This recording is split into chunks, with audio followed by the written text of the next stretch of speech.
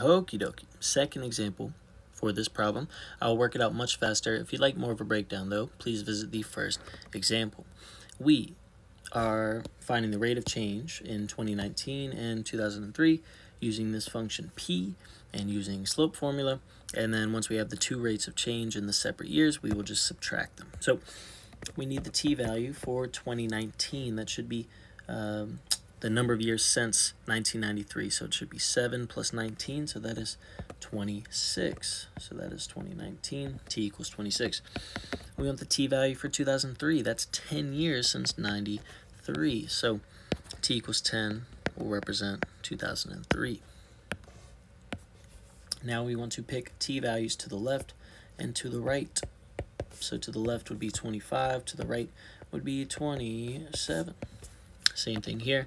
9 to the left and 11 is to the right. We want to find the population at each of these x values or time values. So we're going to get rid of all this. And we're going to just change this around here. We want 25 and 27 first. So we're going to do 1.62797. 1.62797. I'm going to go ahead and throw on a 1. All right. And then we'll change 25 to a 27. We get 1.67. 3873. All right, just double checking. Now we want to plug in 9 and 11 to T. 1.303285. 1.303285, now 11. 1.34003225. 1.3400, what was it? 325.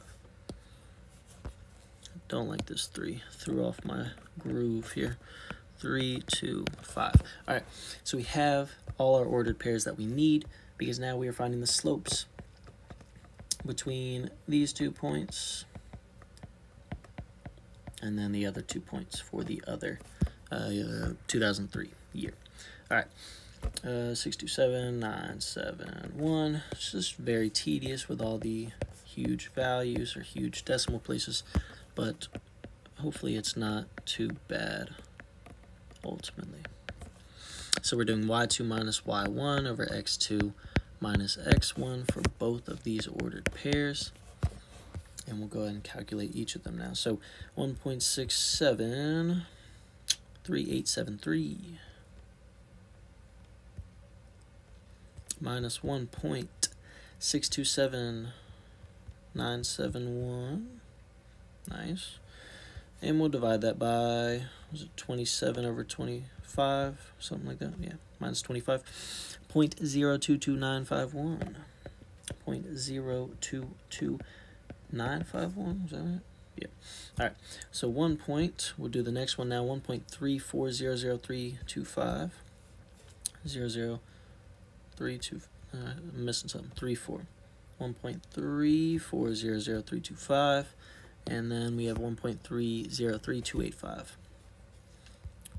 1.303285.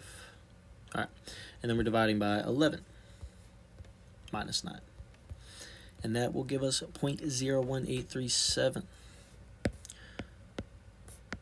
1837. All right, so now that we have the rate of change in the year 2019, as well as the rate of change in the year 2003, we want to subtract these two values.